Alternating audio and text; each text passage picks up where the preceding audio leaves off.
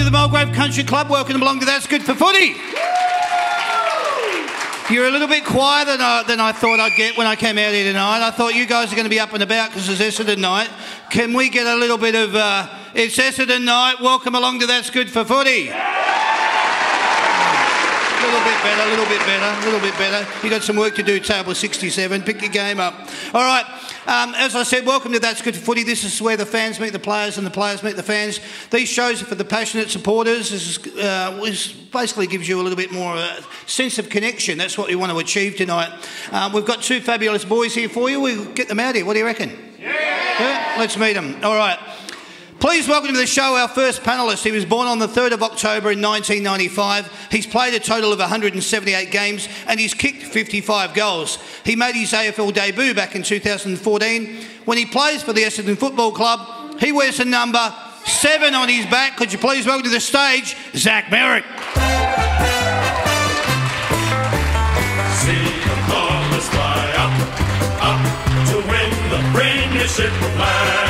Nice to see you, mate you, you guys are really quiet tonight. They're really quiet. They're a little bit subdued. They're like uh, they're happy that you've been winning though, so that's why you're all excited. Is that right? Yeah. Yeah. Okay. Hey mate, good to see you. Nice to have you here. How are you feeling? How's everything going in your world? Yeah, a little bit better the last two weeks. Certainly helps with yeah. a win on the board, doesn't it? Yeah, all right, let's get our second panellist out here. He was born on the 25th of April in 1994. He's played a total of 166 games. He's kicked 293 goals. He made his AFL debut back in 2013 when he plays for the Essendon Football Club. He wears the number 25 on his back. Please welcome to the show, Jake Stringer.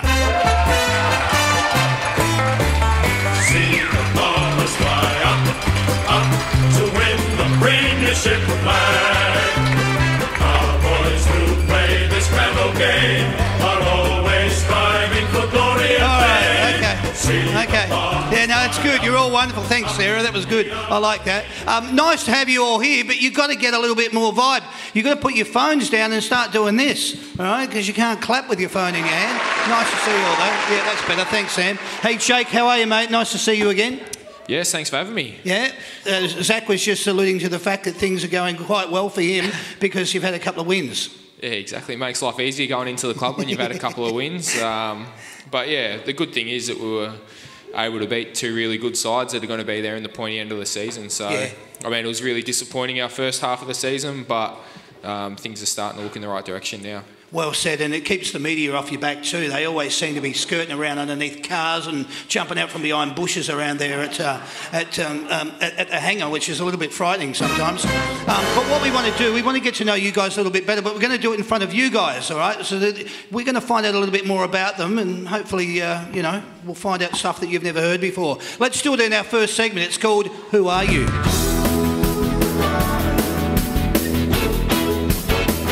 All right, boys. Um, feel free to just answer these questions as, as we go uh, through them. Uh, jump in anytime you like. At school, what sort of a student were you? I'm excited to hear Jake's answer here. I wasn't a very good one, but I'm okay. honest about it. I left school when I was in year 10, so yeah. I actually went and got a job and worked for three years. So That's all right. That's did it cool. did it the hard way. Yeah, yeah, the hard way. What about you, Zach? Yeah, I was. Uh, I just enjoyed lunch, lunchtime recess, and, and PE class obviously the most. But yeah. um, no, I had a had a weird uh, knack and skill of being really fast with my times tables uh, in maths. So that was my probably my favourite subject. Ah, interesting. We had uh, who we have on the other week who actually really loved their maths. Um, what school was, did you go to, Zach? Yeah, I did it pretty hard in uh, down in Cobden, uh, primary school and, and, secondary school, and then uh, did it pretty hard at Melbourne Grammar. Yeah, my last three yeah, months. Yeah, I was waiting for it. There you go. All right. Hey, growing up as a kid, would you catch up with friends after school and have a kick in the park or at the local ground? Was that sort of your routine?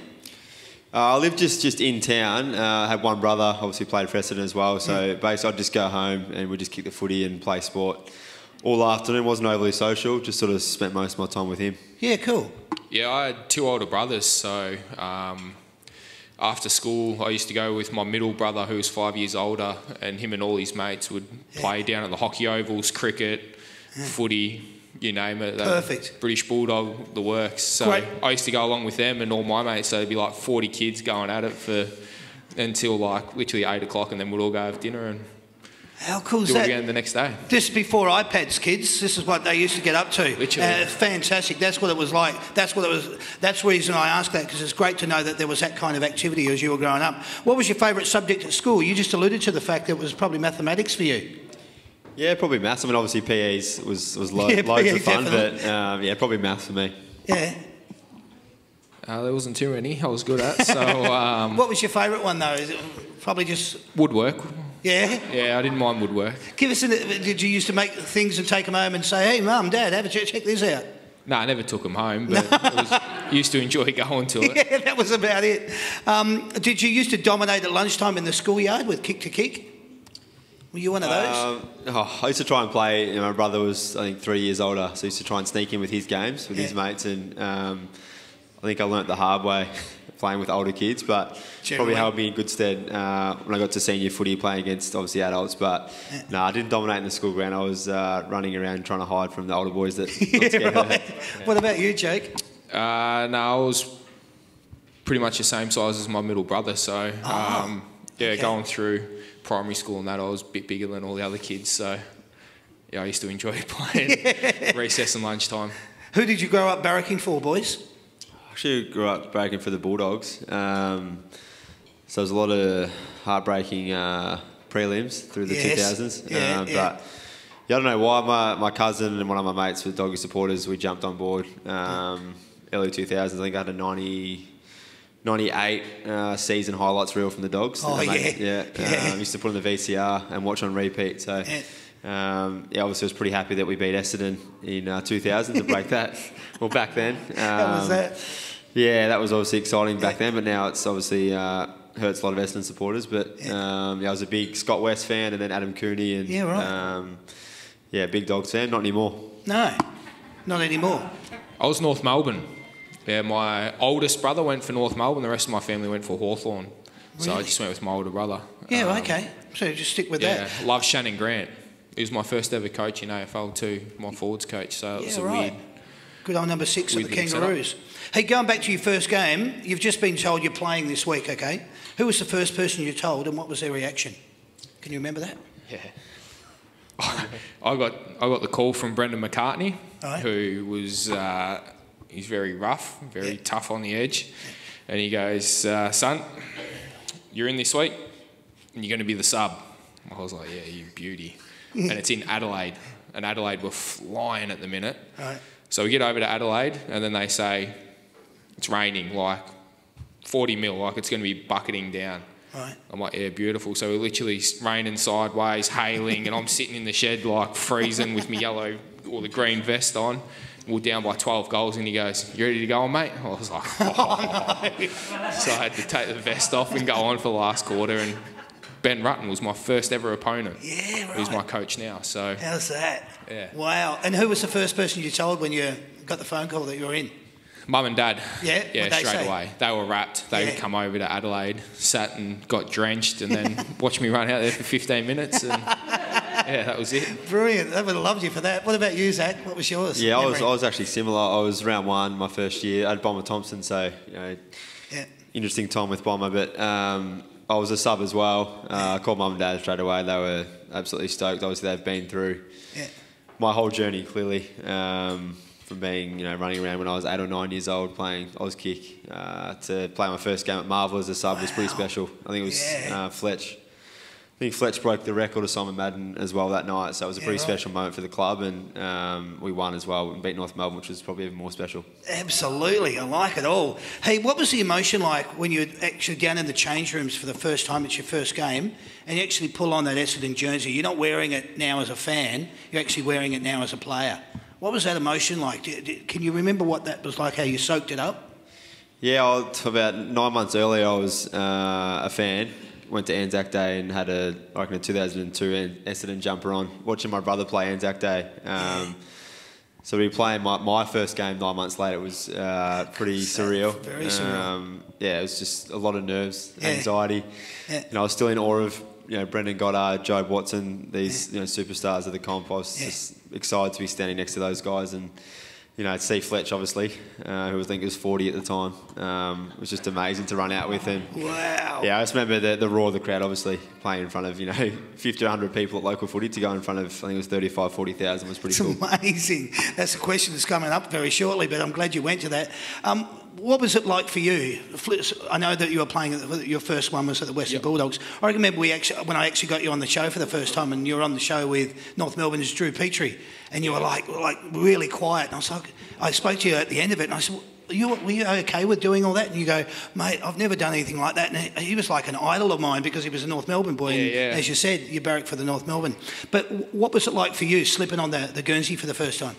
Yeah, well, obviously, um, coming from a small country town called Maryborough, um, obviously getting that opportunity was something that I dreamed about my whole life. So, Yeah, yeah. Um, apart from being in the old AAMI rooms in um, Adelaide and there's mould everywhere and freezing cold and there's puddles in the rooms and all that type of stuff. It felt like country footy back home. Yeah, so, yeah. But it was amazing. I was the same. Like I was in awe of like getting to watch Adam Cooney, Ryan Griffin, um, all these guys. So I was just more excited, and I got to be a fan for three quarters, and then actually got to run out. So How brilliant stat! I love that. Um, did you used to collect footy cards at school, both of you? Yeah, I don't know how mum and dad afforded it, to be honest, looking back. Um, Yeah. I was pretty needy and, and tried to collect every card. So I've got thousands and thousands of cards still at home in the, in the garage. I think mum and dad still collect mine to this How's day. that? Um, yeah, I've, it was a really, probably my favourite pastime, to be honest, collecting Yeah. cards. Um, I used to get so excited to go to the news agency and get a couple of packs. That's brilliant, So mate. yeah, I certainly have a lot, lot back home.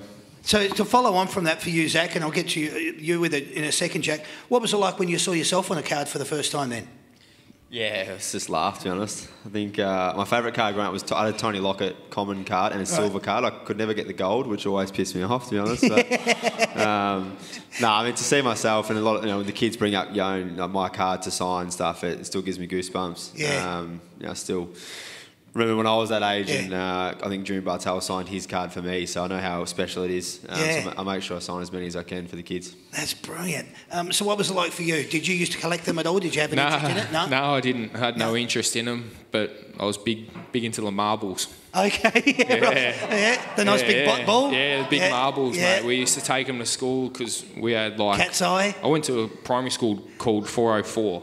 Okay. And Nicholas Hind actually was in my class. Oh yeah, right. And um, we used to have these little marbles and set up the circle and you flick it. Flock it in, Yeah, yeah. mate, I was the master at it. I had that many marbles. I was like the king of the marbles. Yeah. I had heaps of them. So, yeah, Brilliant. that's I what. love it. Yeah, I used to love marbles at school too. Um, what was it like for you though when you first saw a footy card with you? Oh, I was Right the there, same. I was like, when someone asked me to sign it, I was like, oh, I don't even know what to do. I don't even.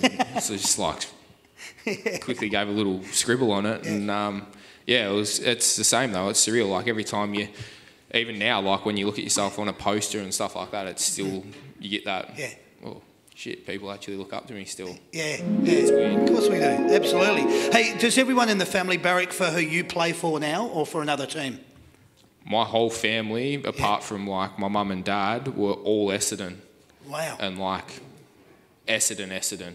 So they were staunch before you got there. Yeah, so then I went to the Bulldogs and a couple of cousins come over, but the rest of them stayed loyal to Essendon. And so then when I come back, Right. they all jump back onto They were like, how cool is this? You're here now, you're home. Yeah, right. What was it like for you, Zach? Um, yeah, my nana's uh, a mad Geelong supporter, so she changes jumpers depending on who's playing. But uh, most of my other family, yeah, they're all, all pretty much Essendon now. Yeah, right. Um, yeah, they remind me we haven't won a final for a while, but um, hopefully that's around the corner. Yeah, good. Hey, can you remember your first day running um, up the club, right, for training? You turned up to the club for training.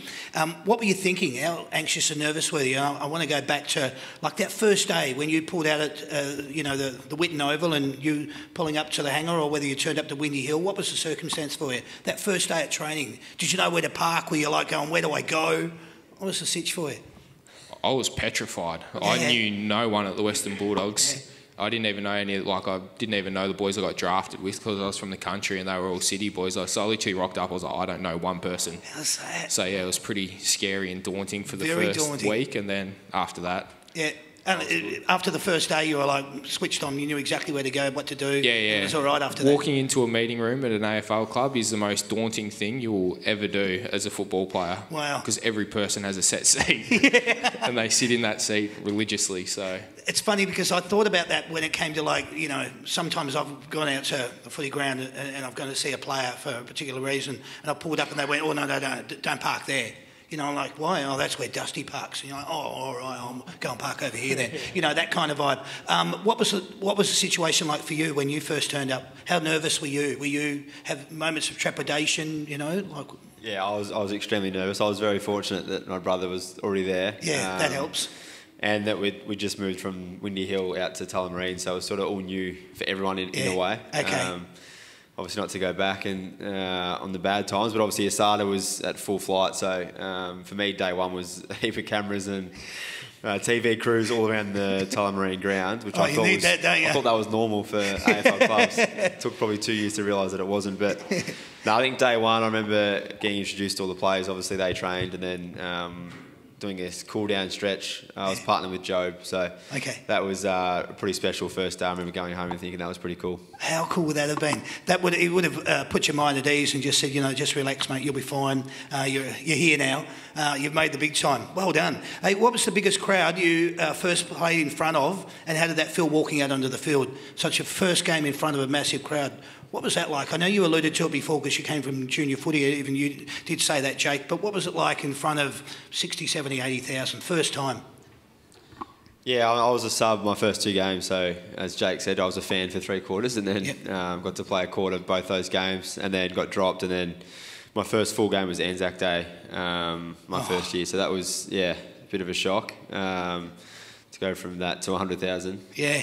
Uh, but yeah, I mean, it was just first couple of seconds or moments were a bit nerve wracking looking around, and then as soon as the, the game's live, you pre- pretty quickly forget about it, um, and it feels like another game, to be honest. But um, yeah, it's pretty amazing to look back and think that I've been able to play in uh, those games. That's obviously the big benefit of, of playing at Essendon. I'm sure your fans enjoy it as well. But as Sure. players, we, we don't take any of those games for granted. Yeah. Um, is it something you get used to?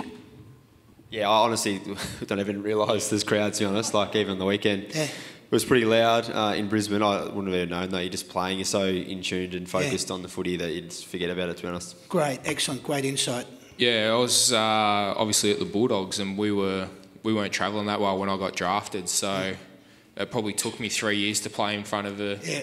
decent Big crowd, crowd. yeah. Uh, I think it was maybe the elimination final against Adelaide was the first time that I actually like walked out and was like, "Wow!" and then I come to Essendon, and it was like every second weekend you're like, "Wow!" so um, I always try and tell the first year is like, "This isn't normal. Like this is." Yeah, This is a privilege to be able to play in front of these people every week. That's brilliant. When you, I know when you talk about the big clubs, you talk about Collingwood, Essendon, and, and Richmond, uh, that it is customary. It's not so for you know players that come from GWS or, or come from you know any of those uh, lower, lower type clubs. In, in that instance, um, if it was your choice and not the coach's, what position do you think best suits you? Um, yeah, probably just in the middle of what I, what I play. Um, Pretty well. I'm probably fortunate to, to be able to play pretty much where I want to play. Yeah. Um, what, what would you do? Don't know. I thought about Um, this one with you because I know that when they switch you from down forward or you know around the centre half forward or sometimes on the wing, when you go into the centre, you always get a good clearance and get the bombers going forward. Is that for me to ask you that question? I was always curious. What position do you think does suit you?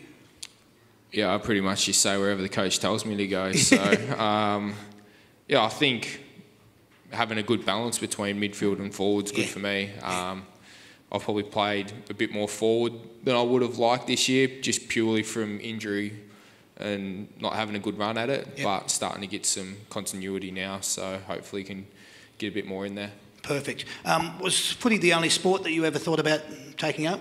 Did you have the choices? I know that there was a bit of cricket background with you. Was there a, a sliding doors moment for you to make a decision between the two sports? Uh, yeah, it wasn't wasn't so much a sliding doors moment, but um, I think I just was playing a lot of cricket growing up and got bored, to be honest. Um, okay. Yeah. Right. I think one summer I played about 36 days of cricket out of 50, um, and all my mates were at the beach having fun and socialising. So Wow. that, that was sort of the decision that was made. There was no real How's big that? moment. Yeah, right. So I was, I'm glad I'm glad I changed. Yeah. Good. What about you, Jake?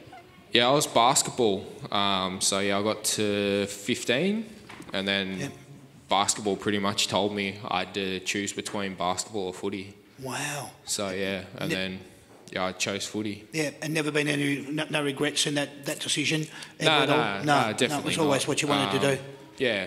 Yeah, I good. mean, it would have been lovely to see how far you could have got in Yeah. basketball, but I chose to go footy. So It was funny. We had Luke Jackson on the show the other week, and he had uh, a lot of uh, uh, choices to make between basketball and football for him. And then we spoke about um, uh, I can't remember his uh, Dyson Daniels uh, from Bendigo. He went over to NBA, signed a contract, um, 7.2 million, which is you know First not year. too bad. Um, uh, that's just for a year, which is not too bad. Um, do you watch the footy a lot on TV? Uh, and if you do, do you watch it with the sound up or down? Yeah, I used to be a, a real footy nuffy. I used to watch a lot of footy. Um, just felt like I, I learned a lot of opposition players and the way teams were playing just by watching watching the footy. Uh, as I've gotten a bit older, I probably watch a bit less, um, just because I know most of the way the teams play, and I've seen most of the players play for a number of years. So Yeah. don't really feel like I need to watch as much. But um, yeah, I probably do a bit of both. I love Friday night footy still. I think that's a great spectacle on TV to be at home. There's a big build up always in Melbourne, which is I think amazing. Um, but sometimes I just watch a quarter and then turn it off, or have it on in the background with the volume off, Yeah, um, cool. and do other things. But yeah, a bit of a mix. Yeah, good. yeah, I'm pretty similar. Um, hardly watch it now unless it's two good teams. Then I'll maybe sit and watch a little bit. I love rugby league though. Okay, Yeah, so you'll be very keen to see State I of sort Origin of have tonight. the, you know, you do the back on the controls and it just switches back and forth. So I do, I do a lot of that. It annoys Yeah, a lot of people, but I, I'll, that's sort of what I do. And State of Origin on tonight, or you'll be watching that probably when you get home. Is that an interest of yeah, yours? Yeah, yeah, Yeah. Hopefully the Queenslanders get up. Yeah, yeah, see how that one goes. Um, outside of AFL, what's your favourite sport to watch? You've just probably alluded to it with rugby. Nah, NBA. NBA, Yeah. okay. Or NFL. We're big NFL nuffies when that yeah, comes around. okay. Yeah, I'd say NFL. NFL is my favourite sport. I think uh, we do a fantasy league, I guess, um, which gets pretty personal at times. Uh, obviously, some people don't trade, some guys do. Dodgy Um, trades. Yeah, but it's pretty big. It's obviously a pretty short season, but um, yeah, I just love the way they do it in America. I think they promote and celebrate their athletes probably better than anyone else. So um, yeah, I love watching NFL. And off the back of that, just while we're on that subject, you've probably both been to the States. You get along and go and see the basketball when, you, when you're there. You've done that? Yeah, yeah, I've done basketball and NFL. So I was lucky that Matthew Dellavedova was in Cleveland Okay. playing with LeBron James. So he got us tickets to go watch LeBron in Madison Square Garden against How Carmelo cool Anthony. that? They put in 45 each. It was awesome. How's that? Must Yeah, have been a great real eye opener for you. Brilliant. And Zach, you've Yeah, similar. I went and watched uh, a, a big. Uh, what did I say? The thing I wanted to do the most was to watch LeBron play live. So I Yeah. um, flew over, did this big training trip, um, organised one game. Um, was in Cleveland, and LeBron happened to shoot 62 the night before. No way. That night, I when he was cooked, I think he went 0 of 13 the first half, um, and finished with about 10 points. So it was a little bit disappointing, Yeah, but right. uh, still cool to start seeing him play live uh, in Cleveland. Shit, excellent. Hey, have you binge watched anything lately, boys, streaming wise? Uh, Netflix, Stan, Paramount, Disney, uh, you know, whatever it is. Um, and if you are, is there anything that you can recommend? Are you watching anything that way? Peaky Blinders. I just started on the plane up to Brisbane. Okay. Yeah. S- season six are into now. Nah, just yeah, season one. Oh, you're just watching it now. I just oh, you started. just started. Yeah, oh, sorry. I thought No, you'd I'm been just- watching it. Now you're. Yeah, right. I'm okay. Like right at the. Yeah, okay, I'm up to season six. I can tell you everything about Nah, it. No, all right. Anyway, uh, Zach, what about you? Are you watching? No, I'm actually rewatching uh, Suits. I watched it a few Oh, years yeah. ago now, Yep. but um, it's sort of nice when you can just sit there and time just seems to go past really quickly. Doesn't it? Um, so I'm enjoying that though. It's good. Isn't it weird? You can sit there if someone said, "Oh, I've got a movie for you. It's three hours long," and you go, "Nah, man, no, no, I'm all right." But then if you're streaming something, you can watch four or five episodes. It can go for that time anyway. Uh, quite interesting. If you had a UFC, if you were a UFC fighter or a boxer, would you have a introduction song or a song that would pep you up? Have you got one of those? Anyone? Is there anything that springs to mind for you?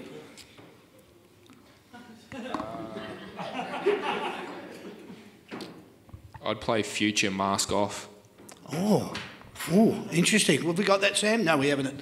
Um, interesting though. Smart. Yeah. you wouldn't have it. What about you, Zach? I don't anything? know. I'm not, not big on uh, not that big on music. Um, Nothing that Fair gets few you. boys at the club are big on UFC and, and boxing. I'm not as big, but Yeah. some of the boys know everyone, all the Come from a land down under, Zach would play, I reckon. Oh. Hey, boys, you've been handed a first class ticket to travel anywhere in the world. Where are you going and why? Where are we going, Zach? I reckon we're. Oh, we are going there, that way. um, nah, I'd probably go straight to uh, New York. I reckon. Uh, Yeah. I love it over there. Love just getting away and Same. Um, just chilling out over there. How long? uh, How many times have you been there, and how long did you go for? Uh, I've been there twice. Yeah. Uh, I went there for a few weeks each time. Um, Fabulous I think it's really, place. really cool city. Yeah. Um, yeah, and obviously they don't know anything about footy, which is also pretty cool. Yeah, we walked from uh, uh, First Street up to 117th, uh, only about 90 odd blocks, but um, mate, you just get lost there. Brilliant, brilliant place. Um, Jake? I'm going straight to Ibiza. yeah, really? All right, no turning back. no, we actually are going. Oh, are you? yeah. When's this? Uh, well, anyway, it doesn't matter. Yeah, let's get along with it. Soonish. All right, yeah, yeah, soon. Soonish. Yeah, uh, at the end of the season after they win the flag. That's what they're saying. Yeah, I get it. Um, do you have that one mate that loves to give you advice about your footy? That one mate that. mm. You're looking like you do, Zach.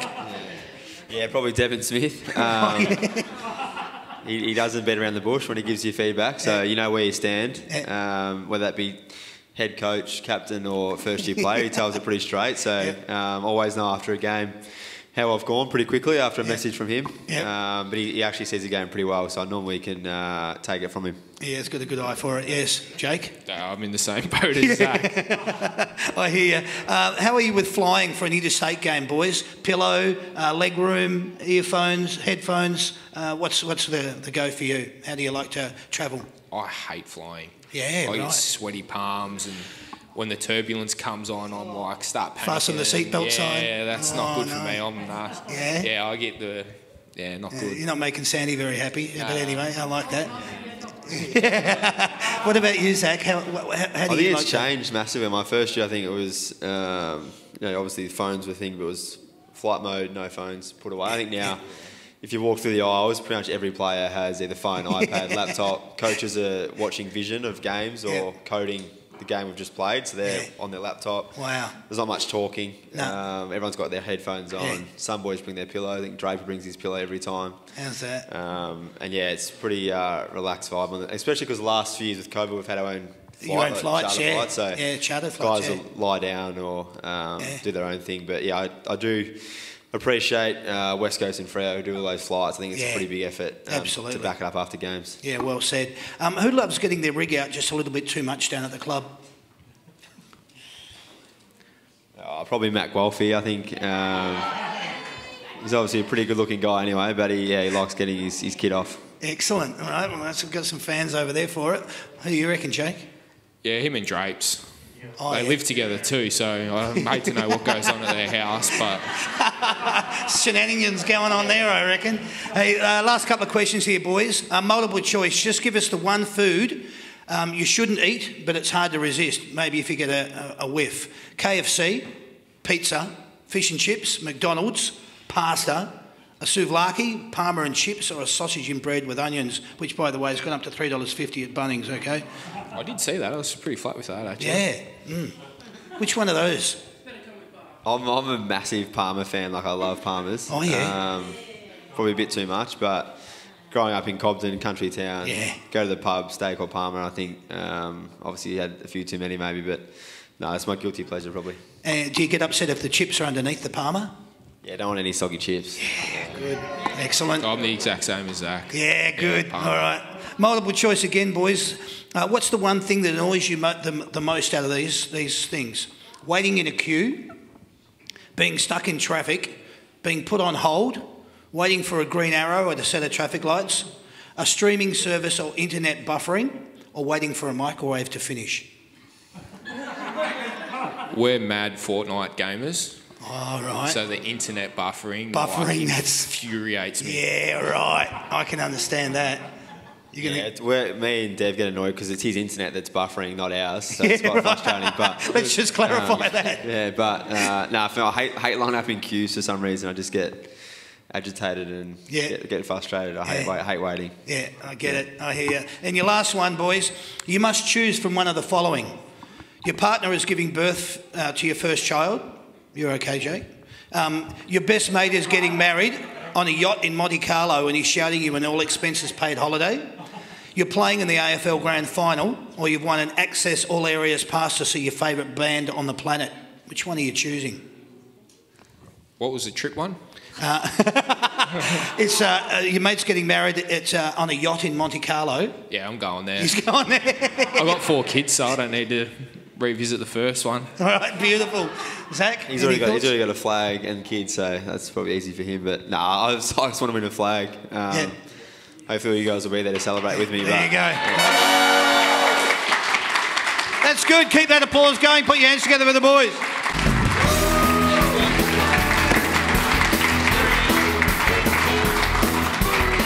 All right, well, it is a footy panel show, so we're going to get stuck into uh, this round of football. We're going to talk about it. The boys are going to give a little bit of insight, hopefully, give us some uh, tips. We're going to kick it off on Friday night, July the 15th. It's Dogs in 10th position versus the Saints in 9th. It's at 7.50pm. It's at Marvel Stadium. The Dogs lost to the Swans by 53 points. The Swans got off to a fast start, kicking seven goals in the first, and the Doggies' uh, defensive structure was no match for Sydney. Sydney's forwards. Um, Swans now at 10 and 6, Dogs at 8 and 8, looking like they won't play finals this year. The Saints lost by 41 to Freo. It's the one that got away for the Saints. They were winning both centre clearances and contested possession until Freo got on top in the second. Saints could have gone into the top eight with that win, but it was not to be. What do you think here, boys? Dogs versus Saints, Friday night football, 10th versus 9th. I think the dogs will be fired up after That loss to yeah who Sydney? they play Sydney. Sydney. Yeah, they were Yep. putrid. So Yeah. the boys they'll be fired up. Okay. yeah, I think they're both sort of been a little bit up and down at times. Some of their best footy for both teams has been probably top four esque, and their bottom stuff's been pretty ordinary. So Yeah. um, I think Jake said dogs will be fired up, but Saints also got a lot to play for. So uh, I'll probably pick the, the dogs up Marvel. Yep. Okay. Interesting. Obviously, uh, Rats has signed on uh, for uh, the coaching role, which is good for him. Uh, some coaches aren't. Some coaches are. Saturday, July the 16th. Let's go to this game. It's Crows in 15th position versus the Pies in sixth. It's uh, 1:50 p.m. at Adelaide Oval. Crows went down by 32 points to the Hawks. Mitch uh, Lewis shone with a bag of five. The Pies got across the line in their win against the Kangaroos, but the Roos were a much better outfit than they have been all year. They got out to a 26-point lead at three-quarter time, but then the Pies tackling pressure really lifted in the last quarter for them to come away with a seven-point win. What do you think here, boys? Crows versus Pies, Adelaide Oval. Yeah, I reckon the Pies. Hey, Collingwood will win. Yeah, I think the Pies are playing. Uh, asking them. they're playing a pretty good brand of footy at the moment. I think they've got um, got an ability to, to score quickly, but also put a lot of pressure on the opposition. Yeah. So uh, Yeah. I think they'll win that pretty easily. Yeah, okay. All right, let's go to this one. Um, Giants v Lions. This is 13th versus 4th, 145 at Manuka Oval. The Giants went down by 55 points to Port and only ended up kicking three goals for the whole game. The Lions went down by 10 points to the Bombers. I normally do that just to see if you're still awake, you know. Um, you know, but that was good. Uh, what do you think here, boys? Giants v Lions. Yeah, I think the Giants are playing a lot, lot more freely since uh, Leon Cameron's obviously left, but I think the Lions will be pretty keen to bounce back. They've sort of been in and out of form the last two months probably, Hmm. and they'll be pretty keen to get back uh, in shape for finals. So I think they'll win. It's um, it is strange though to see the Giants only kicking three goals for a whole game. That's um, uh, it's not like the conditions weren't uh, very good, but I found that strange. Your tip though, Jake? Yeah, I'll go the Giants. Giants. Okay, let's go to this game then. Uh, Roos v Tigers. Uh, the Tigers in eighth and the Roos in 18th. This game is at 4:35 at Marvel. The Roos, as I spoke about earlier, lost to the Pies. Now they have a new problem to deal with. They've got to find a new coach. David Noble and the club uh, parting ways yesterday, finishing up even before the review had been completed. The writing was on the wall, though. It was probably in spray paint, I think. Um, but there are some good signs there for someone to come in and take the playing group to the next level. Tigers are coming off an, uh, after the siren loss to the Gold Coast, who were 40 down going into the third, early in the third, only for Noah Anderson to come back and live every footballer's dream. Uh, the Tigers are just inside the eight with nine wins and seven losses. A tip here, boys. Roos v Tigers. Tigers. Tigers. Yeah, I the Tigers. Too easy, Yeah. you reckon? Okay. I thought the Roos were greatly improved um, last week. Didn't watch a minute of it. Yeah. So yeah, didn't care. All right. Saturday, July the 16th. This game, it's the Dockers versus the Swans. Dockers in third position coming up against the Swans in seventh. This game at 5.30pm at Optus. Frio back to playing on their home deck. This will be a re- real test for the Swans. Uh, we know a bit more about these teams. We will know a bit more about these teams after the weekend. Dockers smashed the Saints in, an, uh, in the end by 41 points. The Swans also making the Dogs look ordinary in their 53 point win. Dockers v Swans, boys. Yeah, this will be a really good game, I think, being in Perth. Mm. Um, obviously, Dockers are probably a better team at home, but the Swans also travel pretty well. So um, I'm pretty keen to see who wins this game. I think uh, if I had to go either way, I'd probably go Freo the way they're playing at the moment. I wrote down here that um, uh, obviously we'll know a bit more about both these teams after the weekend. That's a fair, fair statement, isn't it? We will, won't we? yeah, I agree. Yeah. I've got no idea who's Yeah. going to win. I'll say Freo though. Oh, just because it's over there. Yeah, it was just at 'cause it's over Sydney. I'd probably say the Swans. So Yeah. 50-50. Um, Nate, Nate uh, Fyfe's coming back into finding some real form um, after his little uh, stint on the sidelines. Uh, this game, this is the Blues versus Cats. Blues in fifth position versus the Cats in first position.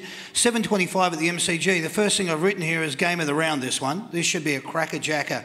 Um, mainly because the Cats have to come up and play at the G. Uh, the Blues are doing all right. It'll be good to see how these two go. This will tell us whether the Blues are the real deal and if the Cats are a grand final contender. The Cats are sitting on top of the ladder after their 28 point win over the Demons, and they did this without their big guns firing. The Cats are finding form at the right time of the year. The Blues have been playing some bloody good football and claiming some nice scalps along the way. They came away with a resounding 63 point win over the Eagles. What do you think, boys? Blues versus Cats MCG. I reckon Zach reckons he likes the Blues, don't you? You reckon they're going all right? I'm going to go Geelong though. Is it at the Nicholas? MCG, isn't it? Nicholas. Yeah. I'll get, I'll, I'll, I'll get you up for simply the best. You know everything. That's great. Fantastic. MCG, thank you. Um, sorry, just to go back to it now. Who do you think, tips wise? Tips wise? Yeah, Cats. Cats, Cats? for me. And, and Yeah, I, I just I think the although it's- obviously it's a big game, I think the the Blues will get themselves up to, to win this, but I think the, the Cats will be focused more on the September than this game, I reckon. Yeah, good. All right, thank you very much. That was nice to be interjected like that. All right, uh, Sunday, July the 17th, this is Hawks versus Eagles. Hawks in 14th position versus Eagles in 17th, 1.10 pm at the MCG. Um, Hawks winners over the Crows. Hawks with only five wins from 20, for 2022. West Coast with only two wins. What do you think here, boys? Hawthorn versus West Coast at the MCG. Yeah, I'll probably go. I'll go West Coast. Is West it West Coast? Coast? Are they Yeah. playing? Yeah, them. Wow. Okay. Yeah, I'll go West Coast as well. I think they've got a lot of senior players back. I know they haven't gelled quite yet, but I think they'll they'll get the Hawks. Gee, that's interesting. Thanks, boys. I like that. All right. I don't like the Hawks, surely. Yeah, that's mainly the No, reason. quite. I get it. I get it. Um, the Demons uh, versus Power. This is second position versus 12th. 320 at uh, TO Park. Melbourne lost to the Cats, and now they have to travel up north to Traeger Park and Alice Springs to get their season back on track. Power with a nice win over the Giants, sitting at eight and eight. The Demons don't want to drop this one. What do you boys think? Melbourne will be fired up for that. Yeah. They'll be ready to go. Yeah, I think Melbourne's got a fair bit of experience at that. Uh, where is it? In At, at NT. Traeger Park at Yeah. TO Alice Springs. Yeah. It'll be a slippery ball, but I think they're pretty uh, used to that, those conditions. I think they'll, they'll bounce back. Yeah, cool. Uh, our last game to discuss is the Bombers versus the Suns. We'll, we'll talk about this game in our next segment. It's called Tell Me More. Right, each week we ask the panellists to give their thoughts and opinions on all things in and around football. We're not trying to make or break the news here, we're just trying to get the thoughts and opinions from the players. Let's do it. Uh, this week it's round 18 and it sees 16th place Bombers come up, coming up against the 11th place Gold Coast Suns. Sunday afternoon football at Marvel Stadium, the game kicks off at 4.40pm. Suns have won 8 from 16 and they said at the start of the season their goal was to play uh, finals. This is your chance to c- crush that dream. Yeah? Yeah? Yeah, get it. Absolutely. Absolutely. I asked this question to a lot of players who appear on the show. What's your favourite ground to play on apart from the MCG? No one ever really see, um, says the Gabba, but it looks like a pool table. It was lush and green. What do you guys actually think of the ground and the surface? At the Gabba. At the Gabba, yeah. I'm asked about last week's game, but it looks like Uh, a really nice ground. Is it? a fair bit of it's painted. Yeah. they paint the grass there, Yeah, so yeah. it's um it's a nice deck though, but the Mm. cricket pitch in the middle's still pretty Always rock hard in there. rock hard. Yeah. Yeah. Okay. Uh, I had said uh, last week on the show that the Lions are a hard team to beat on their home deck, but you guys did it, and it was the Lions' first loss at home all season. From the first bounce, the Bombers looked like they were on. Uh, you won the centre clearance and you started streaming forward, but unfortunately, from this passage of play, it wasn't to be. I'm not looking at you here, all right? Um, but you did have repeat entries, which really put the Lions' backline under pressure. The only thing that let you down was your conversion rate. Not that the Lions were much better, mind you. Both teams had their fair share of outs. Brisbane went in without some of their big names in Zorko, Rich and Berry through injury, as well as McStay and Andrews, plus another four players through the health and safety protocols. Their back six was really The reason I bring all that up, um, because this was common knowledge um, prior to the game, did you guys go in with that being a focus of knowing that if we put their back six under pressure, we've got a good chance here, knowing that they had those outs that, they did? Yeah, I mean, you definitely. I mean, the names you named, like Rich, Zorko, Andrews, like they're probably three of the better players in the competition. So um, we knew if we got enough ball that you know Peter Wright was going to get a good look, Kyle Langford was going to get a good look. So we just knew if we, you know, played a good brand of football that we could get the ball in there, would would be all right. We'd be able to stack up. Yeah, good. You had Redman go out due to health and safety, Parish out with calf issues, plus you're also missing Cox, Francis, Perkins, Smith, and Stewart. Um, so it was a good win considering when you put it down to that. The Lions' big guns in Cameron, Daniher, and Hipwood were all just kept to one goal each, um, which would have been uh, quite pleasing as a result, I imagine. Yeah, it was. I think the, the backs, uh, they're a pretty young group back there, but they're starting to play, you know, and spend more time together and starting to gel better. And um, you know, the whole, uh, their, Brisbane's forward line's probably one of the best in the comp. The six or seven guys up there are all very dangerous. McCarthy, Rayner, the list goes on and on. They've got a really, really strong forward line. So for our young Absolutely. back line to hold up like that was uh, was really exciting. And hopefully, you know, those six or seven guys that are back there now will be the same guys there in four or five years' time. So um, I think it's building together. And that gives good cohesion because the more games that you play together, the more that you understand each other's play and the better you get at, at, uh, at doing that.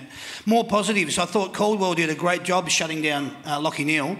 Uh, big, t- big two metre, kicked five. Langford was free to run everywhere. He ended up kicking four as well. And the Bombers are now with three wins from your last four matches, which we alluded to off the top, which puts a little bit of respect- respectability back into what has been a pretty um, tough season for the club uh, for 2022. Um, surmise that for me. You've had uh, your last three wins. Um, big Peter came out. He's been kicking. He's been a, a, he's a, a great acquisition, but even on top of that, he's giving you a good target, and he's a good kick.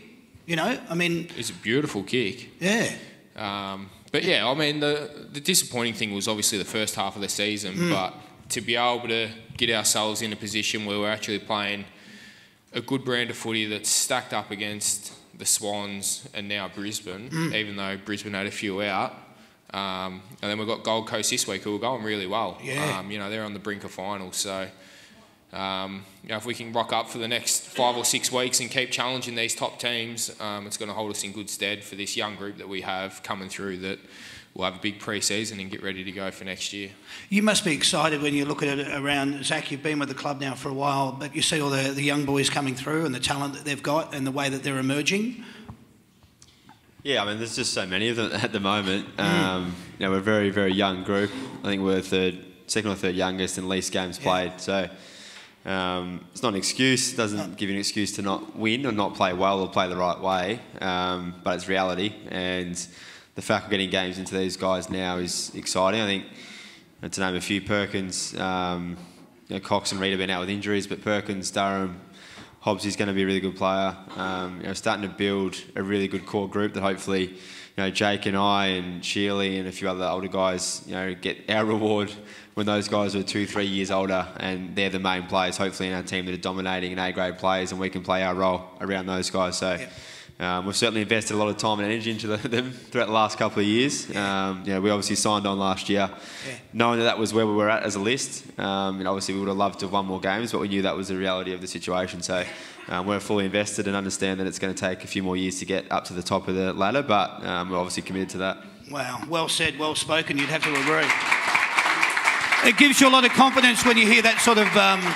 Um, um, and, and it's not just wheeled off, it's not footy talk, it's not uh, saying one week at a time. I uh, saw the interview with you as you came off the ground after the win the other week, and you said it's great that the elder statesmen um, that are around at the club, we're all lifting, you know, and we want to show the way for the, the younger guys that are emerging. Um, and that's obviously, you feel that, you believe that. Yeah, I mean, I've copped a bit of feedback on that one.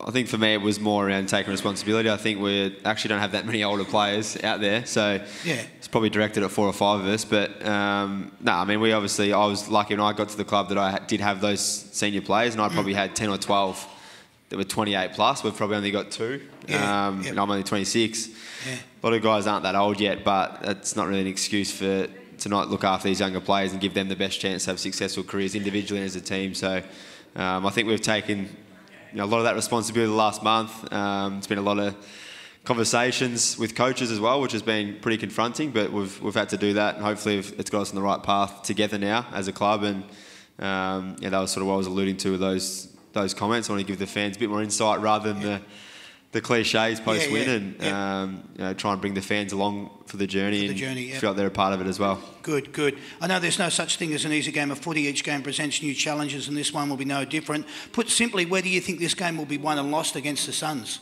What's your first thoughts on it, Jake? Yeah, I think it's going to be. It'll come down to the contest. If we can get on top of them at the contest, we have enough forward power up there to get on top of them and play a quick game at Marvel, which suits us. Marvel Yeah. really suits our game. Yeah. Um, and you know we're we're lucky that we get to play there and you get to learn how the ground plays. Where unfortunately they they get to play there like three or four times a year. So it's actually a fair advantage for us to be able to play it there. Absolutely. I've written down here players like Ainsworth, Anderson, Miller, uh, Lukosius, and Rowell are developing into quite talented footballers uh, who know how to find and use the ball effectively. As a playing group, they're finding consistency and, and cohesion, that one word we use in football a lot, within their game style. There's a real belief in their game plan and their structures, and with Stewie Dew signing on for another two, two years, there's some real belief in uh, that this team is going places. Final word, I'll give it to you, Zach. Uh, your tip and margin. I think Jake will kick five, uh, and hopefully we'll win by a few goals. I think they're, they're, they're a super team. I think they're, Yeah. um, given that they're obviously up on the Gold Coast, don't get a lot of attention. Yeah. Uh, I think people forget how much talent they have on that list. They've got a lot of you know pick one, twos, and threes on their Mm. list. Dew's obviously a good coach and been there for a number of years, so they know their system inside and out. Um, so there's definitely a, a team that we're going to have to be on. And as Jake said, the game will I think purely be won in the contest. Um, who gets more inside 50s out of that contest? So hopefully we get the win, but um, no, it's going to be a hard day. It, really interesting the uh, the recirculation of um, players from other sides like Mabior Chol going up from Richmond, Brandon Ellis from Richmond, um, uh, Levi, Levi Casboult from Carlton. They've been able to re- reinvigorate their careers since going up there. Um, that plus all the young bloods that are around there, maybe that not being in the, the AFL footy bubble that Melbourne creates uh, has given them an opportunity to develop um, probably a little bit quicker. Would that be would that be an assessment? Or would that be right? Or Yeah, I just think that a lot of teams, you know, when you got a young group, you think you got to keep drafting heaps of talent. Mm. Uh, I think at times, as an industry, we can move on pretty quickly from experienced players, whether that be 24 or 32. Like, Yep. I feel like we're pretty quick to just go back to the draft and get an 18 year old that could be special, could be something, and we, Yeah. we discard a lot of experienced, mature players. I think Geelong's a great example of that. They've obviously got a lot of talent, but you know, they're happy to back in their 32, 33 year olds who are playing really good How footy true. to keep playing good footy for a long period of time. So I'm sure those guys up there have been given some confidence from the coach Yep. um, and some backing from the club, and there's no doubt why they're probably playing their career best footy. Wow. If you don't think this guy's your future captain at the uh, Essendon Football Club, um, he's brilliant. I remember. I remember the first time I had him on the show, I was just so impressed with, it, with his elocution and the way that he uh, presents himself. He does it each week. He prepares himself to go out there and give his utmost, as does Jake, as do the uh, other players, the other, you know, 19 odd players that turn up each week uh, to get out there and play. Uh, all I wanted to do is just allude to the fact it's great to have a chat with him. I hope you got a little bit more insight, and uh, I'd be pretty happy if I was barracking for the Bombers as well. So put your hands together for him. What we're going to do here, I'm going to introduce a segment. It's called Simply the Best. All right, so you boys will just keep score. We'll see how Glenn and Amanda go down the front here. Uh, Glenn, uh, Jake's going to keep score for you, and Amanda Zach's going to keep score for you. Uh, they've got their um, uh, their amazing scoring pads in front of them, which they're blown away by. The technology here is it's something to behold. I can see you're all sitting there captivated by it all. All right, uh, let's go with our first question. Are you ready to go, guys? Ready? Yeah. Excellent. How many premierships has your club won? Glenn. Glenn, 15? uh, did you say 15? 15?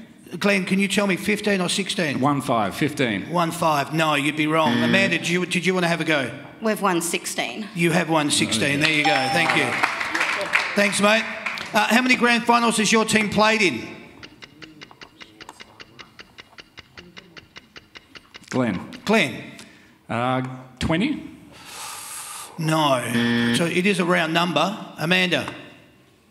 Do you think you know? Just throw something out there. I was going to say 25, but I'll be wrong. No, it was a round number. 30. Bad luck. All right. Who was your team's captain? Amanda. Glenn. Amanda. Dyson Heppell. Correct. One point. Who wears the number seven at your club? Amanda. Amanda. Zach Merrett. Correct. Well done. How many members does your club currently have closest to within a thousand? Glenn. Glenn. 66,000? No. Amanda. You have 70,000. Roughly about 70,000. Is is that your final guess? 70,000? Yeah. It's 79,536. Bad luck. Where did your team finish on the ladder at the end of the home and away season last year? Amanda. Amanda. Eight. Correct. Eight is correct. How many games did your team win last year at the end of, end of the home and away season? Glenn. Glenn. 13. No. Jake's getting a bit annoyed up here, mate. Um, how many do you think it was, Amanda? Was it 12? No, it was 11. Bad luck to both of you. What was that? What year did your team last win a grand final and who did they play? Glenn. I mean, Glenn. Uh, 2001. Uh, 2001, did you say, or lost? No. What year did your team last win a grand final and who did they play? 2000. Uh, against Melbourne, it was 135 to 75. That's nice. Excellent. Probably a bit more than what I asked, but yes, you got the point for it. Congratulations. Um, how many points did you win that grand final by? Glenn. Glenn. 60. Yes, well done. All right. Who won the Norm Smith medal in that grand final? Amanda. Amanda. James Hird. He did. Congratulations. So what are we sitting on? Uh, is that four versus two? All right. Uh, this is for two points. Who was your club's leading goal kicker in 2021? Glenn. And how many goals did they kick? Glenn. Oh, I went early there. It's uh, Peter Wright. Uh, 35. I'm going to stop there. No, no, no. Keep going. Peter Wright and Oh, last year, Jake Stringer. okay, nice get out of jail free card. Okay, it was how many goals? Uh, I'm going to say 98. I got no idea. You would have, you would have, you would have liked that, Jake. uh, it was Jake Stringer. You get one point. Uh, I'll give you an attempt at it, Amanda. You can win a point here. How many goals did he kick? Throw out a number. 16. You go from one extreme to the other, mate. All right. Uh, no, it was 39. Uh, you do get one point, though, Glenn. This is for three points. Player, year, and votes. Who was the last Essendon player to win a Brownlow medal? What year and how many votes did they poll? Glenn. Yes, Glenn. Uh, Jobe Watson. No. No. That's, Can we no. argue? Not as far as records state. Oh, Yeah, well, you can ring the AFL about that one. Who do you think it was? Glenn. Okay, Glenn. That was James Hird. It was. What year and how many votes? Uh, 93. Oh. 96. Yes, correct. And how many votes? Two so far. Uh, 20. 22. One. Bad luck. You get two points though. Well done. What are we sitting on? Five versus four. All right. Okay, very close, ladies and gentlemen. Very, very close. I'm going to give you, wait until you hear the entirety of the question, because once you hear the question, you'll realise that you needed to wait for the entirety of it. I will give you three Essendon players' names. You have to tell me what their combined jumper numbers add up to. Once you buzz in, we're only going to give you three seconds. If you don't buzz, buzz in with the answer, well, then you'll fail. Here we go. Here's your jumper numbers with the players. Tip and Woody, Heppell, and McGrath. Go. Who wants to buzz Glenn. in? Glenn. Glenn. 55? Did you say 55? 5 5? Glenn? Yes, You'd, 55. you'd be wrong. Would you like to have a go? Amanda, Yes, Amanda. 67. No. 65 was the total. Bad luck to both of you. Three jumper numbers again. What are we sitting on? Five versus four? Ooh, could be a tie here, or Glenn, you could take it out. Here's your three jumper numbers Darcy Parish, Devon Smith, Dylan Shiel. Glenn, Glenn. Three seconds. 17? 17 it is. Yes. You got it. Well done. There you go. Six versus five. We have a winner. You are simply the best, Glenn. Well done. See how enthusiastic everyone is? They're rapt for you, mate. That is bloody wonderful. Hey, congratulations, you won. All right. You are simply the best. For winning tonight, you get to take home $180 Yamaha earbuds. All right. Courtesy of Yamaha. Well done.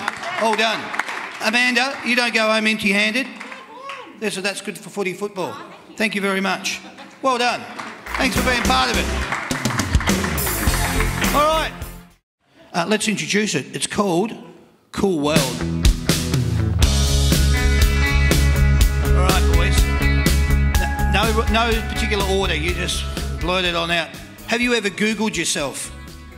Sadly, yes. Yeah. Yes? Yeah. yeah. Yep, you both have. So it's a point each, boys. Hear that? You're off the mark. Is your car worth over $70,000? Definitely not. Definitely not. Nah. Or it might be. Nah, it wouldn't be now. No, when you got it. Yeah. Yeah, all right, there's one point. Yep, that's all right. You, you, you actually get to turn it over, Noah. Good boy. Mitchell, you're still on one. Do you have more than three coffees a day? Yep. Yes? Yeah. That's one point, Noah. I did today. I had four today, which is bad. Or four today. Oh, You get a point each for that. Do you watch replays of games that you feature in? Definitely not. Definitely not. He watches Sometimes. himself. Sometimes. Noah, you get one point. Um, do you have more than one mobile phone that you use on a semi regular basis? No, I don't. No? Do you? Nah. okay. All right, good. Do you rate yourself as either a really good singer or dancer? Good, Good dancer. singer. Oh, Or you can be a good singer. I'm a both good surprised by that. So you're a good dancer, you're a good singer? Ibiza could be fun then. Yeah, wow. Excellent, I like it. Uh, would you get a hair transplant if you were starting to go bald? Nah, just shave it off. Nah, nah, all gone. All right, okay. So there was uh, a point each for the boys on that previous one. Good. Have you ever said, "Do you know who I am?" when lining up to get into a nightclub? He just walks in. Everyone knows him. I'll He just walk walks in. No, I actually haven't. I, I, I've thought about it, but no, I've, I've, my moral compass wouldn't sit right with that one. Okay, good. So is that an answer to no for both of you? You don't really need to, I get it, but Uh, no, yeah, no, yes. Maybe once or twice. yeah. All right, uh, we'll get one point, Noah. Um, do you like either your passport or driver's license photo? My driver's one's not too bad. My passport one's when I was like 15, so yeah, it's a bit awkward. Bit awkward. Mine, yeah, I'm similar. Mine look, I look chubby and really young. Um, so no, definitely no. No, Both no, no. no, no to both those boys. Have you ever fudged a footy story to make it sound better? Yeah, for sure. uh, my highlight reel isn't as good as his, so I got to chuck in a few goals every now and then. and Cool. so that's one point. What was it? Have you ever fudged a footy story to make it sound better? Oh, absolutely. Absolutely. All the Yeah, time. that's a Week to point each, boys. Yeah, okay. Um, have you ever brought a present for your partner, but it was really for you? yeah, all the time I get. Yeah, Yeah, I'm Yeah. the same. all the time. Jeez, they're very confident about that. I like it. Okay. Two All right, that's a point each, boys. Mitchell and Noah. Have you ever regifted a gift that was given to you? Nah, actually, I've never done that. No? Nah. No? You're adamant? I Okay. reckon I might have, yeah. I probably have at some point. All right. Well, Zach said he has, Mitchell. That's one point to you. Need a point. Have you ever had Have you ever had something that you got or received from the footy club and then gave it to someone as a present? Oh, absolutely. Absolutely. Yeah, I got a lot, lot of my mates Essendon supporters, so uh, Yeah. they were very grateful. So Good. win win. There you go. Two uh, a point each to both of you. Have you ever gone anywhere and accidentally or purposely left your wallet at home or in the car? yeah, I do it all the time to Zach. Yeah, I'd Leave it in my locker. yeah. The old Oh, sorry, accidentally. I left it in Yeah. the locker. Um, I can't remember when I did it, but I did do it once, and I didn't live it down. And especially at a footy club, you don't want to be seen as a uh, someone who keeps your money or doesn't want to pay for other people. So, Yeah. got to make sure you have your wallet on you at all times. Otherwise, you get uh, stuck with nicknames you don't want. Dyson Heppell um, Mason or Mason Redman. Redmond. Those two guys in particular. So, Case in point, I hear you. Have you ever ever pretended to be on the phone to avoid a conversation? Oh, all the time. all Yeah. the time. I knew you were just going to be so so excited about Yeah, that nah, question and yeah. go, oh yeah, all the time. Have you ever gone? To, that's a point each, boys. Have you ever gone to the movies by yourself? Yeah. Yep. What'd you watch? I watched Space Jam. By yourself? Yeah, I didn't take any of the kids. No, I haven't. No. Oh, okay. Just one point to you then, Noah. Okay. Someone annoying is talking to you and they have parsley stuck in between their teeth. Do you tell them? Absolutely not. and I will this I will giggle like a child for as long as it's in there as well. Perfect Oh, answer. I'd have to tell them. Yeah, I guess. It, yeah, I'd have to. I'd, I'd be too distracted. I, I just laugh the whole time until they figured it out. All right. One point, Noah. That's brilliant. What's the score? What are we looking at down there? Sandy, you awake? What do we got? Versus eight. Oh, Zach's got to catch up. He's a nice boy, Zach. Yeah. Okay, all right, let's see how we go here. Have you ever wrongly received any promotional or sponsors product in the mail or through the club without actually requesting it and then kept it? I had a really weird one one day. Actually, it wasn't that long ago. Um, I was just at home on my, on my day off and seen someone chuck something in the, the mailbox um, that looked a bit sus. So I ran out there a bit aggressively, a bit like, what's going on? And he scampered off into his car, and the car flung off. And I was like, what is going on here? Opened the package, and it was a, a paleo diet book, like a full, really thick book about a paleo diet, which Yeah. I thought was interesting. Um, Yeah. so I was waiting for a follow-up response, a call, a message, uh, social media, something to say, enjoy the book. Yeah. And I have no idea where it come from still. No- to this no day. idea It's at all? Nine months later, I'm still waiting for this Wow. guy to come How's back. that? Maybe Pete Evans from uh, My Kitchen Rules is, uh, yeah, trying to do something. That's interesting. Uh, Jake, you're, I had a Culture Kings like hat or something that come in the mail, yeah, and I said to my partner, I was like, hundred percent, I'm keeping this, but she wouldn't let me open it, so I had to send it back. I was shattered. So I'm going to give them a point each for that. You boys can have that. I like it. Um, do you wash uh, your own car or pay someone else to do it? Uh, I wash my own car. I actually don't mind doing it. Okay. Yeah, I got good. one like that's a k down the road, so it's Yeah. all right. I'm with you. That's one thing I'm really, really bad with. I'm pretty tidy and neat, but my car, for some reason, I just don't really care about. So Yeah. um, I'm happy to pay someone else to do that one. I get it. All right. Well, we're going to give uh, a, a point to you actually there, Mitchell. This is your last one, boys. You get upgraded at an event, a restaurant, or a hotel to VIP because someone thinks you are someone that you're not. Do you say anything or you just go along with it? Oh, absolutely not. You roll with it. absolutely. Absolutely not. I'll pretend I'll whatever they want. I'll do Oh, it. I bloody love you, Jake. You're brilliant, mate. yeah, I think you'd I'd roll that as well for sure. Yeah. All right. Okay. Point each. What we finish up with, boys? What we get? Get us a score there. Doesn't matter. You're both winners. Well done. That was great. Good on you, boys. I love it. Um, you get a. Uh, you get to see the boys. You, right? You can give them a high five while you're there. Oh, knuckles. I like that. Noah, that's yours, mate. There's a That's Good for Footy beanie. Mitchell, there's a That's Good for Footy beanie. Thanks for playing along and keeping score. Oh, I like that. It fits well. Excellent. Thanks, boys. Good on you for playing.